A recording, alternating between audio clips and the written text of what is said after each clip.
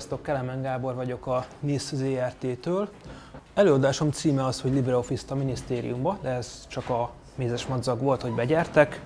Uh, arról lesz a viszonylag kevés szó. Uh, először is egy kis bemutatkozás, aki még nem ismerne, szóval azon túl, hogy Kelemen Gábor vagyok és a NISZ-nek dolgozom, uh, van némi közöm a LibreOffice-hoz is, úgy mint 2012 óta én tartom karban a magyar fordítását, illetve ennek okán a Document Foundation is a tagjai közé fogadott, és elmúlt bőfél évben elkezdtem egy új hobbit, ami a súgó rendbetétele lenne, mert hogy ez egy kicsit lemaradt az elmúlt években a szélítősebességű fejlesztések mögött. Szóval ennek lehet némi köze ahhoz, hogy ide kerültem, illetve annak is, hogy 2012 óta uh, dolgoztam elközigazgatási szabad szoftver kompetencia központban. Ennek része volt az, hogy a fordítást elkezdtem csinálni, uh, illetve a kormányhivatalok infor- informatikai infrastruktúrájának megújítását végző projektben is közreműködtem. És tavaly nyár óta vagyok NISZES, az egy egészen pici állami uh, informatikai szolgáltató cég, uh, tulajdonosa a belügyminisztérium, és most már olyan 2000 fő dolgozik nálunk. Um,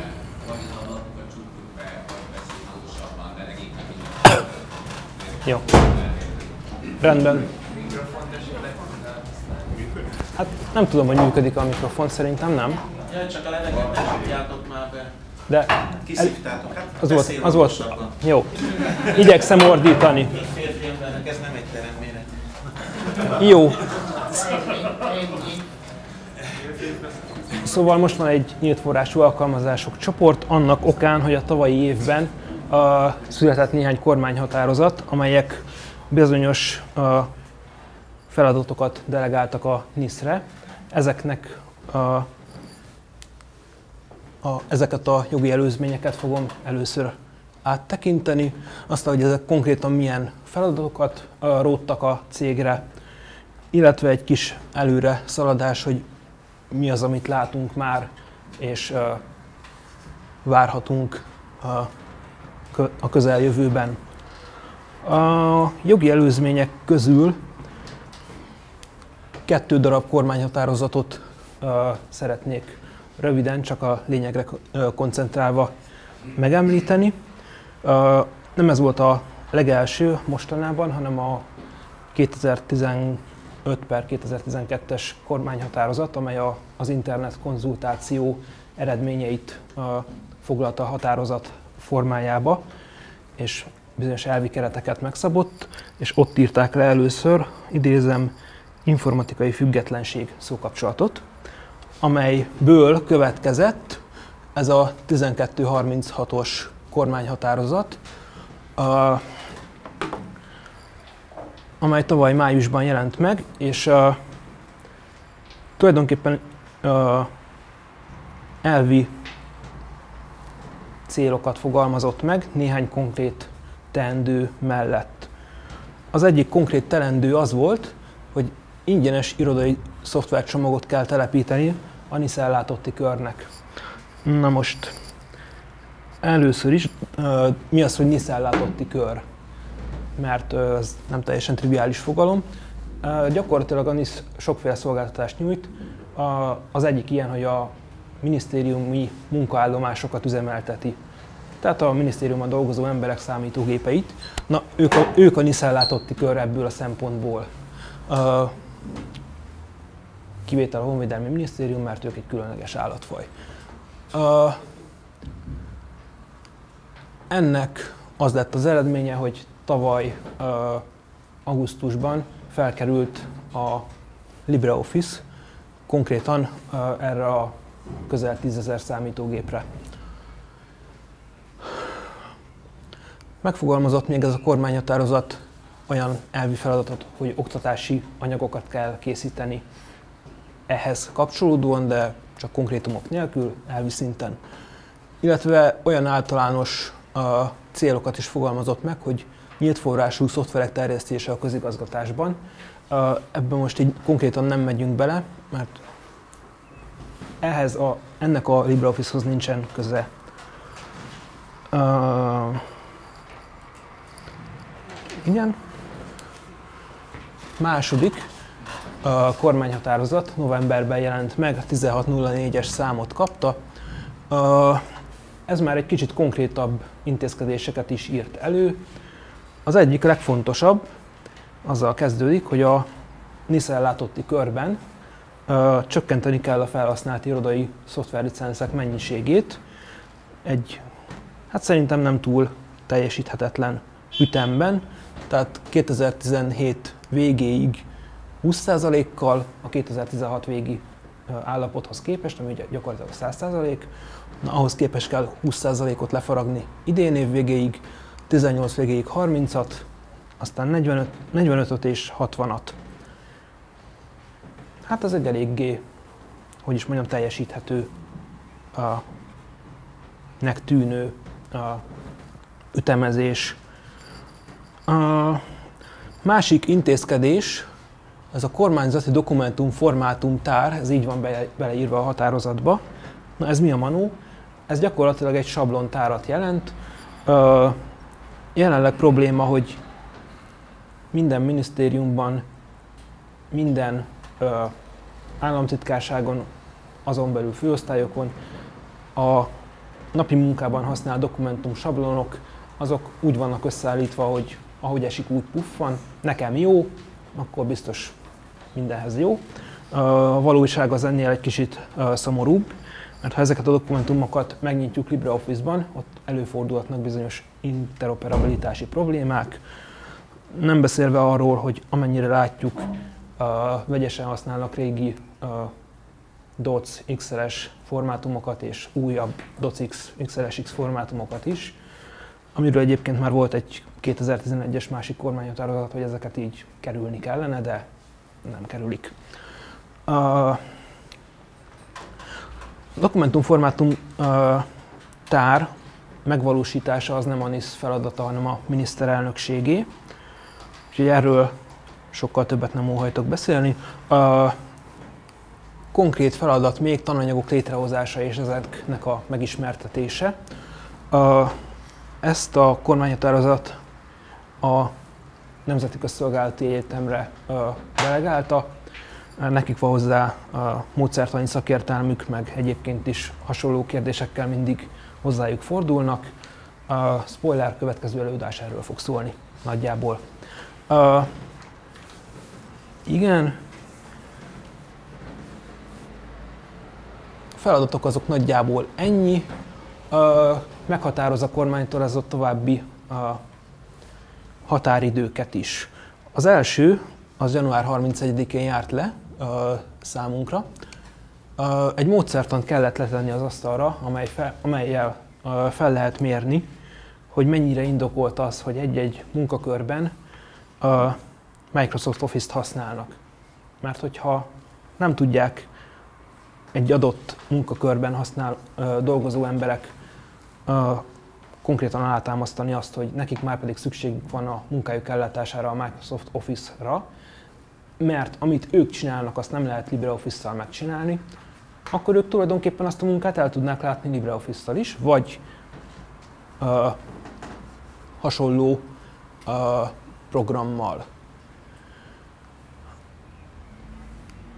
Aztán ezt a módszertant letettük az asztalra, mostanában a megvalósítása kezdődött el ennek. Ehhez egy felmérő oldalt készítettünk, egy online űrlapot.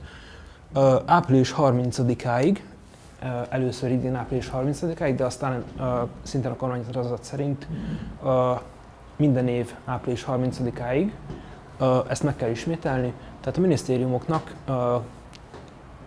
el kell dönteniük, hogy adott munkakörben dolgozók számára indokolt-e a Microsoft Office használatának a folytatása.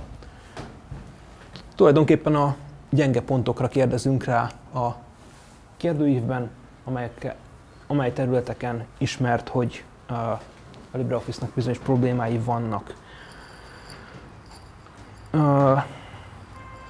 És itt a döntéseket a, az, indokla, az illetékes vezetők hozzák meg, tehát nem a NISZ mondja meg, hogy akkor most tőled elvesszük a, az MS Office, tőled meg nem.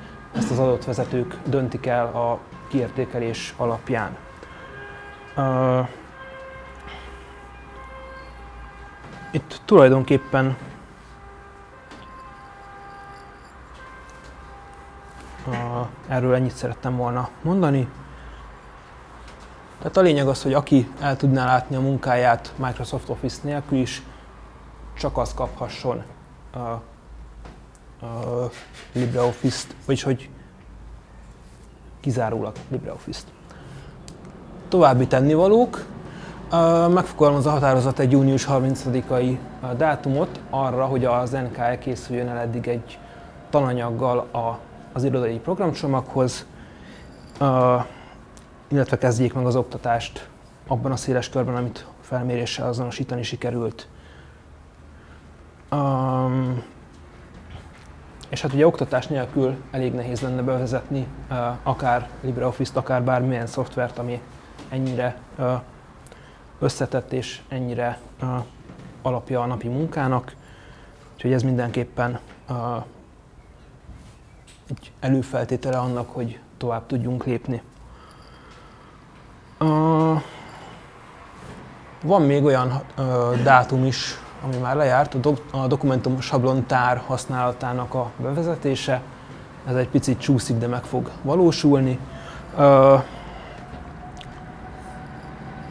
Ezzel kapcsolatban érdekesség, hogy ez elméletileg nem csak a NISZ ellátottakat érinti, hanem a kormányzati szféra más elemeit is. Tehát akik a minisztériumok alatt fordulnak elő, tehát például a kormányhivatali rendszert. Ennek az lenne a célja, hogy olyan dokumentumsablonokat tudjanak készíteni maguknak a minisztériumok némi niszes támogatással és elvi iránymutatással, amelyek megfelelően működnek Microsoft Office-ban is, meg nem Microsoft Office-ban is. Így ez, ezeknek a dokumentumoknak a használatával csökkenhetnek a, a napi munkát érintő interoperabilitási problémák. Uh, igen.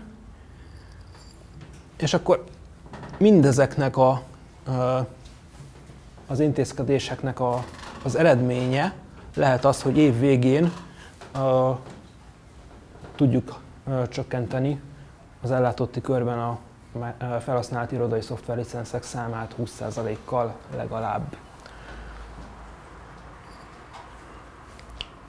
Tehát nagyjából ezekkel az intézkedésekkel számolunk. Mi lehet még, amit már most lehet tudni, hogy felmerül? Hát az egyik az, hogy akik az ellátotti körben Microsoft Office-t használnak, azok csak ezt a szoftvert ismerik erre az adott feladatra. Tehát nem tudják például, hogy el lehet-e látni azt a munkát biztonságosan ezzel, ezzel az új szoftverrel, amit bevezettünk, ami nekik a napi munkájukat képezi. Ezt, ezt a problémát erőteljes kommunikációs tevékenységgel fogjuk, vagyis tervezzük kezelni. Ezt a Document Foundation által írt áttérési útmutatók is erős, erősen javasolják. Korábbi nyugat-európai sikeres áttérések tapasztalata az volt, hogy a, egy ilyen projekt kapcsán nem lehet a felhasználókkal eleget kommunikálni. Rengeteget kell feléjük, rengeteg információt kell feléjük közvetíteni.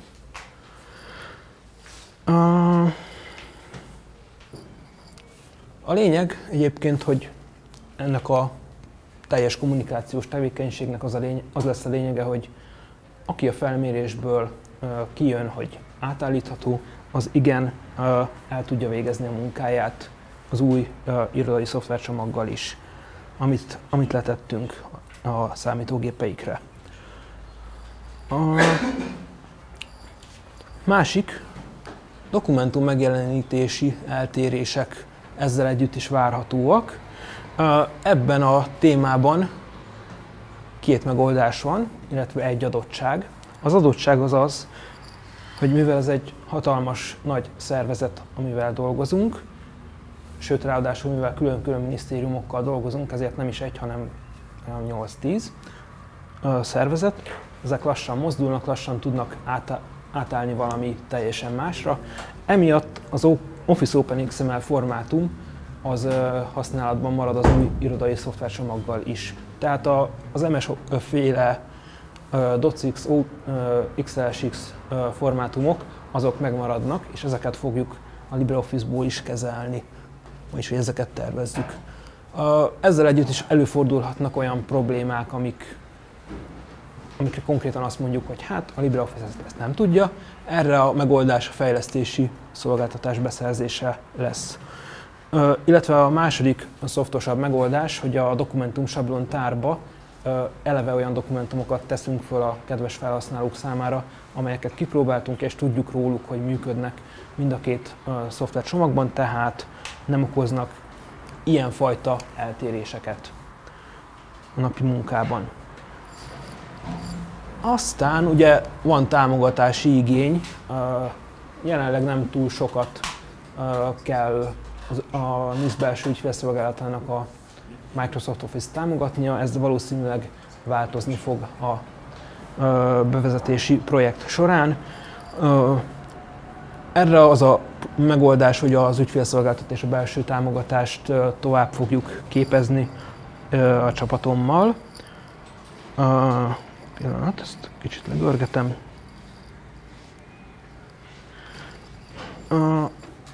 És ugye visszamegyünk az elejére, akkor azért lettem én a nyílt forrású alkalmazások csoport vezetője, hogy pontosan ilyen támogatást tudjunk nyújtani annak a pár ezer felhasználónak, aki idén át fog állni, illetve a következő években, illetve az ügyfélszolgáltatót is támogathassuk, és a további belső támogató szervezeti egységeket is. Na most hatalmas változásnak tűnik, és emiatt szeretném kiemelni, hogy az én csapatomnak egyelőre kizárólag a LibreOffice támogatása a feladata, vagyis hogy amit egyelőre letettünk, ezt kell támogatnunk.